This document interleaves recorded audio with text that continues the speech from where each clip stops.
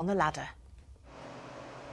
Employing someone who's not worked for 14 years might seem like quite a risk, but Colin was determined. Offered a week's trial, he grabbed it. Basically anything they asked I did and more, just to prove that I could do it. And to be honest, after 14 years of being out of work, within that first five days of being here, no, well, I could never been out of work. It was just, I needed to do it and I needed to prove that I could do it, so I did. Uh, yeah, felt great.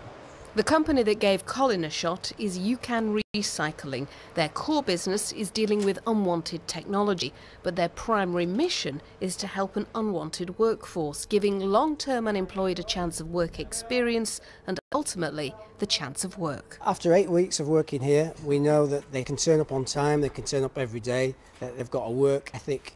It means that we're in a position to sort of heartedly recommend them with full confidence that uh, they know that they're going to do a good job for whoever they go on to next. It's pretty much turned my life around, really. I was um, not not being lazy, just I've, I've got kids at home, so I was just busy all the time, but I was applying for jobs. I felt like I had a purpose, but it's just completed it, really, just getting back into employment. Stephen's a visible success story, now paid a wage by UCAN. Though they can't take everybody on, they know the time spent here is a valuable stepping stone. I might get a text from one of the lads that was here like eight months ago, and they texted me to say they've finally been given the permanent job from the temping job they've been going to, and it's all thanks to UCAN. Well, then it's a success. And as the business grows, they're hoping they can be the start of more happy endings.